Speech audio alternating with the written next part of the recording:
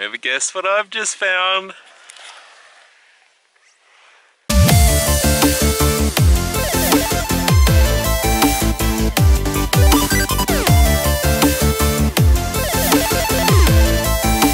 found an actual bowl and a rideable skate park.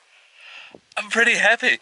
I've driven out to Ralston. It's about 20 minutes from work. I'm not sure how far it is from where I'm staying, but I'm going to be a little bit late home tonight because it's time to put some skates on and go for a roll.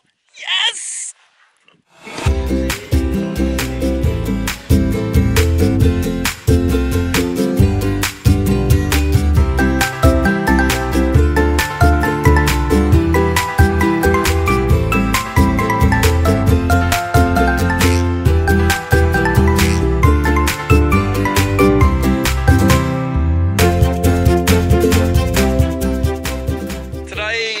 Just another day that's not really going to plan.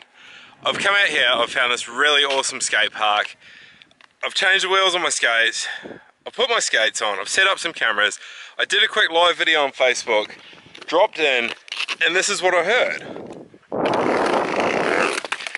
Now, skates aren't meant to sound like that. They're meant to be smooth and quiet. You get a little shh, not a that, my friends, is a collapsed bearing. I think what's happening with driving all the dirt roads to work, is a bunch of really fine bull dust getting into the back of my ute, and I think the dust has just settled in there and ruined the bearings.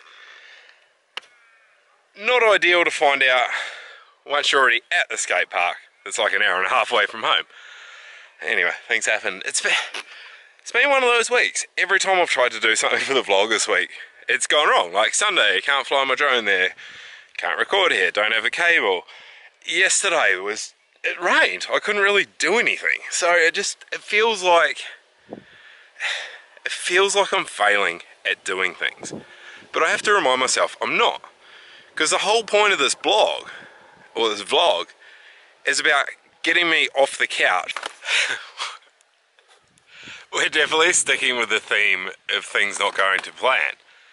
What happened just then is my camera is full.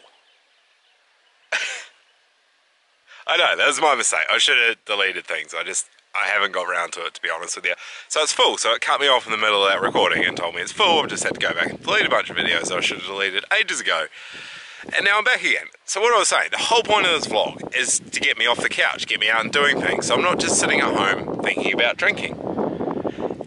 And it's working this is what I'm doing. I'm having fun. I'm enjoying my life so much at the moment, and a lot of it is doing this. I love doing this. It's one of my favorite things.